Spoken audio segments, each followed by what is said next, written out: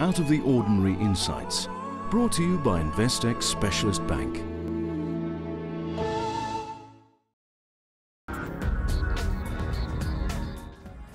Hello and welcome to this week's edition of Captains of Industry. My name is Gugulethu Mfuphi. Today we have the honor of speaking to Brett Kimber. He's the Chief Executive of Afrox, uh, otherwise known as African Oxygen. Brett, thank you so much for coming, uh, or rather for allowing us to come today. Great seeing you. Perhaps uh, for some of our African viewers who might not be familiar with the company, who is Afrox? Well, Afrox, we're part of the Linde Group. It's an industrial gas company um, based here in South Africa, and we also support 13 countries in emerging Africa. So oxygen, nitrogen, LPG, uh, carbon dioxide. So those are our key products. A lot of uh, chemicals and gases that you mentioned there. But uh, coming back to your leadership position, I understand you've been at the, on the job for a little over 18 months. Uh, it's how's the ride been so far? Well, the ride here back in South Africa has been um, interesting, tremendous. I started my career in the gas industry here at Afrox for eight years and then went overseas for 15 years with a group. Uh, so coming back was to actually try and help turn the company around because uh, economically and structurally it had uh, fallen behind the trends in the world. So it's been very interesting sort of building back the basics and now sort of positioning it for growth going forward. Let's touch on your international travels. I understand you spent some time in Singapore, the US, as well as Korea. What were some of the highlights uh, that you that you picked up from some of those nations? Well, the US it was a culture shock. I think uh, you feel when you go to a place like that that it'll be very similar. Uh, Singapore and Korea wasn't a culture shock because I think there you know they're going to be different and, and you don't expect it. So but business-wise, the US, we did the whole of North and South America, so that was very interesting to see that. That was in the late 90s, early 2000s, so booming times in the US. I then moved to Singapore to head up the electronics part of um, the BOC group and then. And that was fascinating because really you had Sam Samsung Electronics, TSMC taking over the world as far as um, the becoming the dominant suppliers. So actually trying to win business with them and working with them culturally to understand that they do business on a handshake and a relationship. Hmm. And you know, Samsung Electronics awarded us 50% of their future business at one particular site. Normally you get a five to 10 year contract. That 50% of future business is it 20 years, is it 50 years, is it 100 years? So it was a very different sort of um, way of working in business and, and leadership style with those different nations. I'd like us to zone in on that perhaps. Uh, you touched on the culture shock issue, especially in the US. Uh, what was so different about that environment there? Well, I think uh, they are both men and women are working. Um, they are driven very much around the work. So South Africa, I think, has a much better balance um, when it comes to work, family, friendship, lifestyle around sport um, they don't have as a, a generalization people to their homes. They will rather meet in a restaurant um, and it's 6.30 to 8.30 and then you go home. So for us, that was a big change from being a social, yes, we didn't have family there, but we just noticed that was a big difference, that it was so work driven um, that they didn't have much of a social side. It changed. We were there during 9 11, and there was more empathy and more um, community involvement and support. But generally in America, they don't know who their neighbours are. So in South Africa, we should continue enjoying our braais, I take it. Absolutely. And watching yes. the rugby on Saturdays. And, you know, enjoying uh, a beer while you're watching it, which uh, in America it's a little too serious, I think, sometimes. Mm. Uh, when we were looking at uh, one of the lovely boards that you have here in your office, uh, you were highlighting the issues that you experienced with uh, the unions in Korea. Walk us through that. So Korea's got a very strong history from the point of view in the 70s. They were a poor nation. This is, South Korea. They were as poor as North Korea is now. But they had a dictator who became what I call a benevolent dictator who said, we need to develop this country. So worked with business, clear focus. This is where electronics needs to be, steel here, car manufacturing, shipbuilding. But because business and government worked together, some of the labour was left behind. And post the Olympics, um, the unions started to say, you've got to start sharing some of this wealth. So they had the Olympics in, in 1988. So between there and um, in the early 2000s, when sort of we started our business, um, we had acquired some assets during the financial crisis, some, some of the petrochemicals, and a union members came across. The rest of our company wasn't unionized. So we had the challenge of trying to convince the unions that we were fair payers and that they were part of the family of, of the Linde Group there. So to do that, we said, this is our vision. They unfortunately said, no, we like the way we operate today, so hmm. we don't want any changes. So we had to prepare for a strike. And we went through a very painful period of 100 days where that site was on strike. But the Korean government and the security side work with companies to make sure that infrastructure is remains safe. And you've got to, when you have a demonstration, say where and how many people, and the security comes and provides assistance. So we went through that period, but at the end of it, the union members, because they then felt that, right, they had not succeeded, they flipped from being union members to becoming company loyal employees. And now we just have this incredible harmony in the organization. So while it was a difficult period, as a company, we're so much better off and Korea is going through that um, with many sort of instances. But that 100 day period, you have to be able to survive. Um, and it's a very challenging period to manage that, where you've got your customers. Are you going to be able to carry on summer? You've got the rest of your employees. You've got some empathy. So you have to keep communication and what you're trying to achieve clear to everyone. Mm. I find that uh, such a remarkable story, especially given the labor situation that we have here in South Africa. We have a strike for at least three weeks and it costs companies millions, and we're not appropriately prepared for, for, for such ventures. Uh, what do you make at the moment of the, of the labor strife that we're experiencing in the country? Well, if I could step back and just say, I think from, again, looking at it from a Korea, Korean perspective, they have gone from being very poor in the 70s to one of the leading nations now. I put it down to clear leadership, strong work ethic, and competitiveness. Hmm. Now, I think to address your question, if we say, where is South Africa competitive? What do we have? You know, we've got the minerals, we've got the potential to have cheap electricity and beneficiate. If you come at it from that side and say, South Africa, you better compete against Brazil and India, they and the rest of Africa. If we do that, the pie gets bigger. Then we can share it with everyone. So for me, we really need to be able to have a clear vision and then work towards it. And we said, tomorrow is going to be better than today, and better educated people, better jobs, then we can share it. But if you're trying to share up a shrinking pie of smaller benefits from the mining industry, it is going to be a challenge and it's going to be painful. So that's where I see you've got to have the roadmap that says we can all benefit by working together rather than fighting for a short-term gain. And I understand, you know, really South Africa has a history where the difference between rich and poor is so stark. But if you can get the pie bigger, you can actually share it quicker. Do you believe we have that plan in the pipeline at the moment? I don't think we have that vision and that leadership that says, and I do think there have been times in South Africa recently where we have done it successfully. The tourism industry. Mm. Clearly, there was a concerted effort to do that.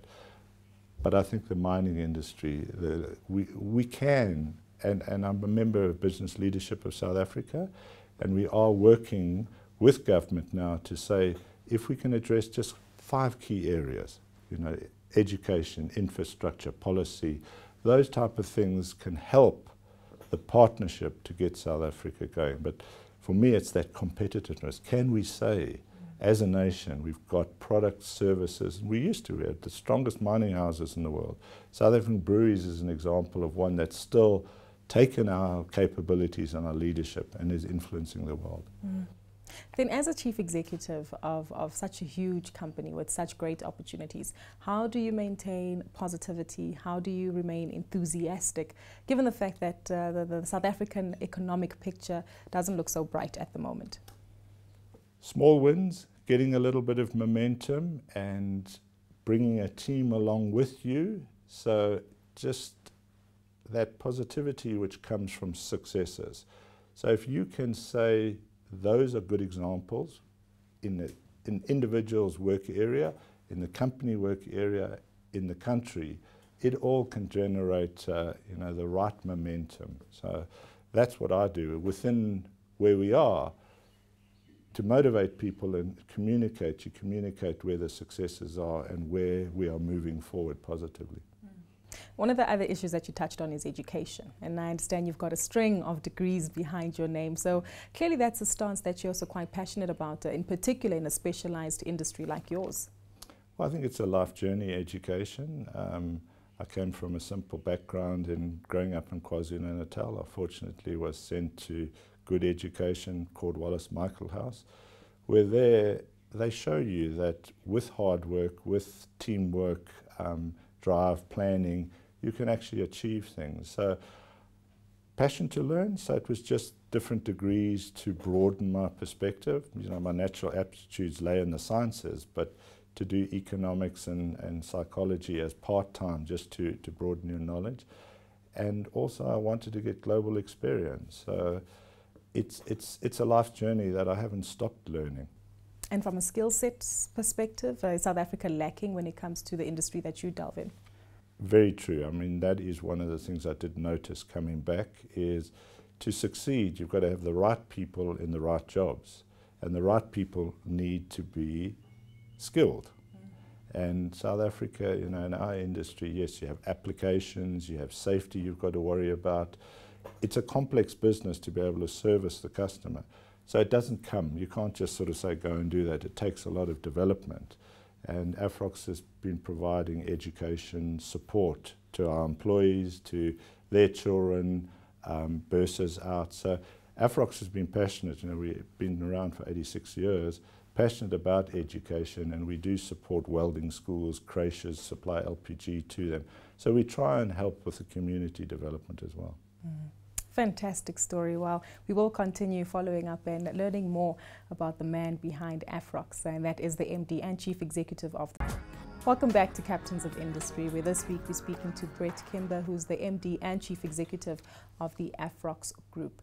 Brett, before the ad break, we touched on the importance of education, but I want to focus on the company a little bit further now and your African expansion projects. You, you're very bullish about uh, the, the, opportunities that are presented out there, but naturally there are some challenges. But uh, what could we see from Afrox in the next couple of years regarding your African strategy? Interesting you say that because when I came back, um, and often you see Africa in the center of the world map, and then you have these grand plans in international companies, what they're doing in Asia, the Americas, and maybe a little bit in South Africa, and the rest of the map is just blank. Mm. And I said to our teams here and globally, we've got to fill Africa, give it some color with investment plans. So we have, we've worked actively, and we have a 10-year plan now. As I said, earlier, we're in 13 countries north of here. So we're going to invest. Yes, it's going to be small investments initially on the back of the platforms we've got, but we believe um, the demographics, the infrastructure, the mining support will grow those economies, and we're going to grow hopefully ahead of those to be able to meet the customers. So we've got a very clear plan. Um, my team sort of said an interesting thing. It took nine months to prepare.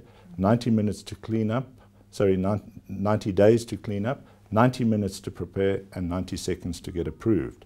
And I said, yes, you thought you had 10 years to execute, you've only got nine years to execute. So we do have some good plans there, um, as well as obviously developing South Africa. I'm happy to hear that you're an optimist on the Africa Rising story, but certainly there are some barriers to trade. Uh, you know, regulatory uncertainty, political instability in some countries. How do you manage those kind of risks? We, let's use Zimbabwe for example. So you've got obviously its legacy recently as far as sort of being an underperforming economy. Um, you've then got um, you know their policies which are trying. Yet we've got a very strong business there. So now we need to protect that. And then in other countries like Kenya, we've been there since 1937. So we understand the history. So we're not there for a quick um, investment. One of the advantages of a gas company like ours, we're not the primary mining investor. We're the secondary supplier to those. So the red tape and everything else is a lot easier for us. So we're following companies and then we build a facility and we supply to multiple companies. So yes, we understand the risks, but because we've been around for so long, we have local managers who understand it. What I'm now going to do is support with the global skills, processes and infrastructure to help those local teams see the opportunities and, and invest ahead of the megatrends. There's a lot of oil and gas in East Africa and West Africa. Um, and as I say, as those nations become wealthier, there's going to be consumer, Coca-Cola, for example, big investors, that needs carbon dioxide. Mm. How, how difficult has it been for you to uh, support, or rather not gain support for, for investor confidence in the company, especially since you took over about 18 months ago when your predecessor, Tjaart Kruger, left the company? Again, I think both for my team in South Africa and for management in um, Germany now with the Linde Group, you have to have a track record of investing and delivering. And I think both customers as well, when they know you've got a team that understands their requirement and has a track record. Tjaart came from outside the industry, and I think just the fact that I've been in the industry for 25 years, worked around the world, gives a certain amount of credibility. So I've been able to get the investment support, and as we say, the Emerging Africa Strategy. We worked with the Linde Group Strategy Group to clean it up. So when we presented it, we knew it was going to get the support. And so it's building that trust and credibility and then delivering on it. Mm. Well, you certainly uh, didn't grow up perhaps wanting to be a chief executive. Uh, you're a young boy, as you mentioned, growing up in KZN. Uh, paint a picture for us uh, regarding your childhood. You know, what was your typical experience like as a boy? Well, I grew up uh, as a son of a dairy farmer um, in Greytown. Um, no great shakes, just a just a very fine gentleman, very supportive family. As I said, I had the opportunity to go to the finest education institutions in places like Michaelhouse, and that shape, shapes your values, your competitiveness, your drive, and the, the, the other boys that were there with you. It, it starts a network, um, and that old boys network is very strong. What it taught me is that teamwork and relationships are very important. So, whereas I had very simple aspirations, just get a degree, right?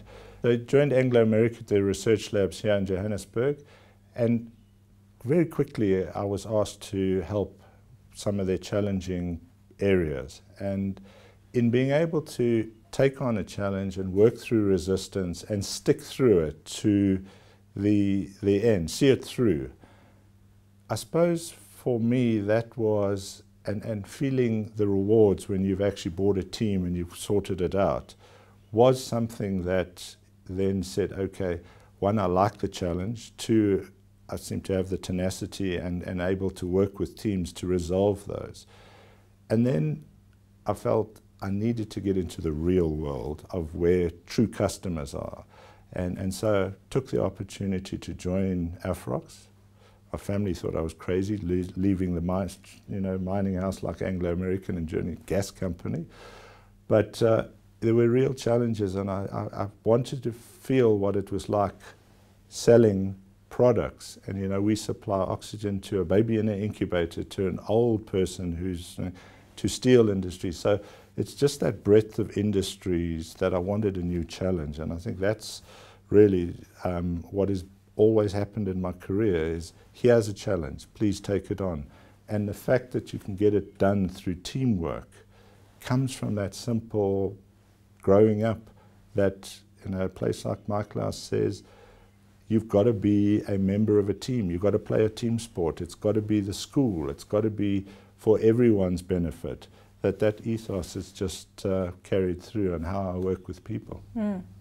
Something else that's very interesting is how you perhaps stay on top of your game when there's a new change or new revolution, and perhaps we're in the digital age now, uh, where technology is, you know, at the forefront of everything. And you also have new innovation that you're developing at your company. If you could walk us through that and show us some of the new Yeah, nifty and, gadgets uh, that you've innovated. I think that is critical in any business, even if one that's 86 years old and it's got simple projects, you, products, you have to be able to be innovative and, and support customers. So Afrox has a strong hard goods business where we make uh, equipment for cylinders to supply. And if I can just show that uh, this was technology which has been around for 50 years, where you, we call it the Mickey Mouse, where you've got the two valves on top.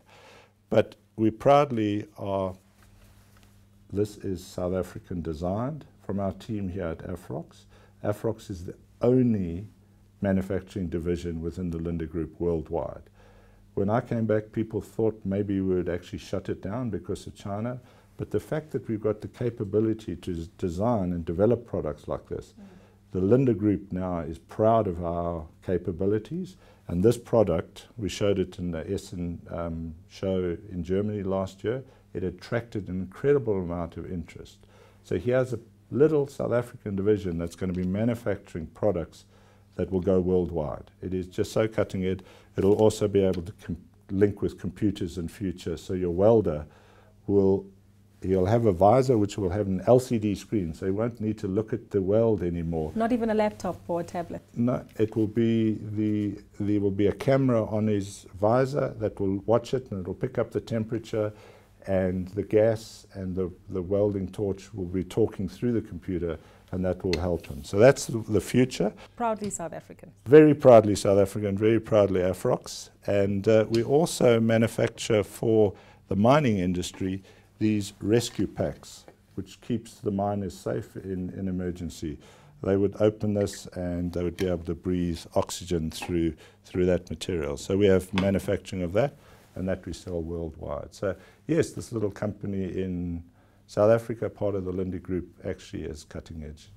I can see why you're optimistic about the future regarding that. But uh, I want your take on what you make of renewable energy. You know, there's talks about shale gas uh, as well as other forms of, of renewable energy coming on board. Would that have an impact on your business? Absolutely. So today we supply the majority of the market on LPG.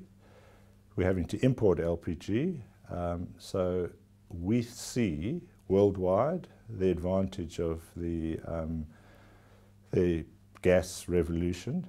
I think for South Africa, and you know, obviously I studied geology as one of my um, majors when I was at varsity. I know there's a significant amount of gas in the Karoo.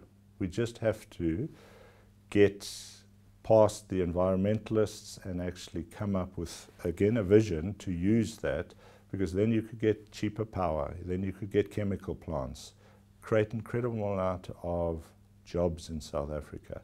The risk is Mozambique and Tanzania have good gas. The risk is that they develop it quicker and enough gas can come in via pipeline, extending what we've got around, and South Africa doesn't need that gas. We can use theirs. So for me, it's this race. Who's going to do it first? There is so much gas in East Africa now that South Africa and, and East Africa is going to benefit in the next 20 to 30 years.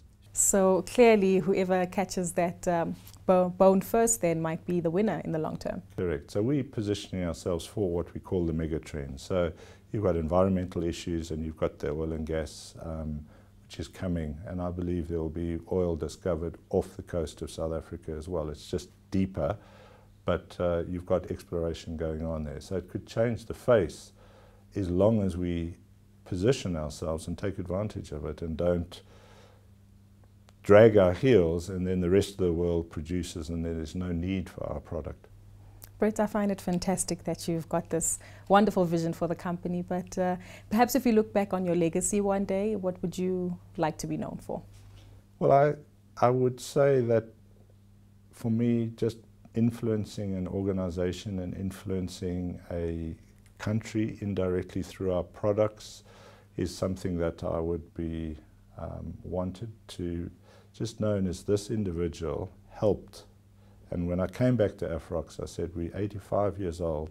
Every decision I'm making is that we are stronger today when we turn 100. So it is about long-term positioning for our company, for the country, for our customers to just help it. So just want to be recognized as someone who contributed a little bit. Well, from our discussion, I can tell that you're a visionary, someone who's on the brink of technology and innovation, and also passionate about Africa. Thank you so much for your time today, Brett.